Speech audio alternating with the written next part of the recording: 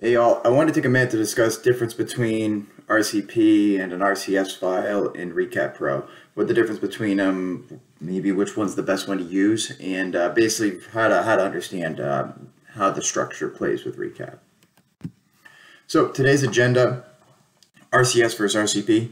So an RCS file is the are the scan files that contain the actual spatially indexed point cloud data. So the RCS is really the data that is like of your point cloud. So if you've uh, if you ever worked with like InfoWorks, it's got that head file and then it's got that dot files folder. The think of the RCS as the dot files folder. It contains all the data. And then RCP, these are the recap, uh, the project files, uh, recap project RCP. Um, and they point to a number of RCS files. So every scan location is an RCS file after it's been registered in recap. And so this contains additional information such as scan regions, recorded distances, and annotations. So let's go ahead and let's just crack a couple files open. Let's, uh, let's create a project. Let's export the things out and talk about RCS and RCP. So recap here, I'm using 2023, but this is a age-old thing for the file structure. So what we're going to do is let's just take a look at this. Uh, we're going to look at this recap sample project. It's got two scans, very small project. You have it on your machine if you have recap installed, so you could you can play with this as well. It's in your program data. So this is the RCP right here, and then this is the support folder. So the RCP is that recap project, and then it has that corresponding support folder, which has all the data within it. So if we go ahead here, let's make this a little bigger. Let's go into the support folder. So support folder contains a few different things. So, but what you'll see here is it contains an RCS here and an RCS here. So those two RCSs are the scan locations. So let's go ahead and let's open up the RCP now, which looks at the RCS files. So let's go ahead and minimize this right here, minimize that. Okay, let's go ahead and open. Let's go to that same folder, this vid folder, and we're gonna open this RCP. So this is the RCP file right here. You can see we have two scan locations. We can go into the real views if we want to. And you can see here's our scans, two scans, and this would be, you know, this is one of the RCS, all the point cloud data. If you go into that 3D view, it's this is what it's going to be looking at for that RCS file. If we go back to the real view, this would be the other scan location here. Okay, so easy enough, RCP versus RCS. Now, there's two things you can, a couple different things you can do to manipulate RCSs and RCPs. So let's go back, let's bounce out of this project here. Well, actually, let's take one more thing at this project. So you have this button right here. This is your tripod location. So this is taking you back to the registration. So if you want to go back and re-register things, you can go back. So for example, for this project, it should go fairly quickly. It can be a little bit slower if you have 50 or 100 scans and it's taking me back to the registration because I can see the real views. When you can see the real views and you have those mirror balls, that means you have a structured scan and you could register things. So if we wanted to register things, if we wanted to register things, you know, have a, make it better, this is where we would do it. All right, so let's go back to our project here. Return to project, and let's go to the home tab here. Okay, so now we're gonna create a new project.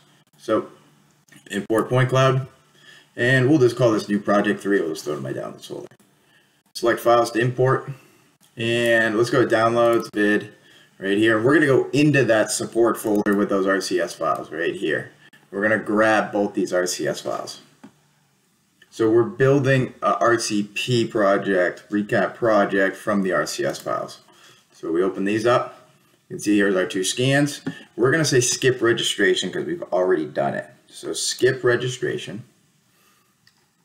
And now you can see we're loading the project and we've basically rebuilt the project with those RCS files. You can see we go back to registration if we wanted to, and we're still seeing those mirror balls. So we still have the that, that structured um, registerable data. So if we go back in here, we can see that we are now in that real view. So we basically just did a full loop, uh, rebuilding it with the RCS to create an RCP. Now, exporting RCSs versus RCPs. So that's going to unify your point cloud. So let's go ahead and let's do both. So we go over here, home, right here, this export or import export button right here. And we're going to select that. And what we're going to do is we're going to send this to the that folder and we're going to call this RCP export. Save. and you have to unify on export. There's no option to not to um to, to not unify. And unify basically means is we are going to get rid of these scan locations. It's going to be one unified point cloud. So we say unify, and now it's going to export our project. So next we're going to do the same exact thing we just did. We're going to export an RCS, and we're just going to take a look at what the difference between those two is.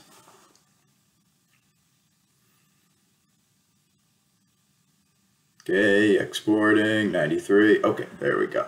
All right, home tab again.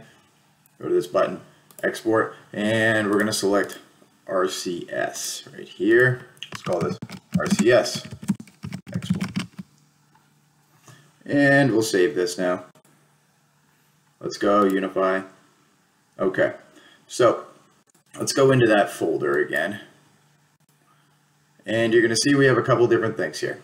Okay, we need to wait for this export to go, wait for that temp folder, that temp folder to go. Okay, so back in that folder, this is where we kicked out that, that RCP export and RCS export. So you can see here with the RCS, with the RCP export right here, it brings a support folder with it. And if you open up the support folder, it's got that RCS file. So if you think 172 meg right there, we're going to be 172 meg right here. So the it basically just kicks it out as a recap project or an RCS. And so one and the other, there's nothing wrong with each of them. And uh, if you're to move things around, so to speak, it'd probably be easier to move around an RCS export.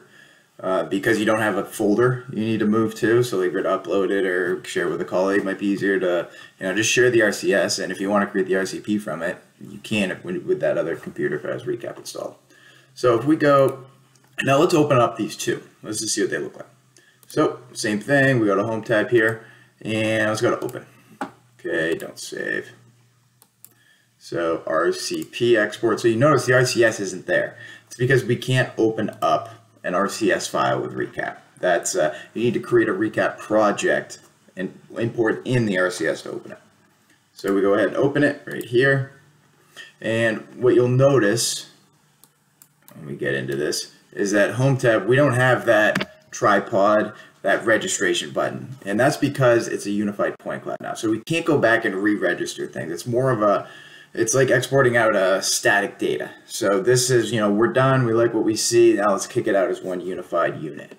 So if we go in here and we, if we go into our point cloud, you can see there's a little circle there, but the real views aren't here anymore. So we can't select the real views and get into it. That's, no, that's that unified point cloud. So let's go, uh, let's open up that RCS file quickly in Home tab. So because we can't open up an RCS, we're going to create a new project and import in that RCS. New project, point cloud. Don't save any changes.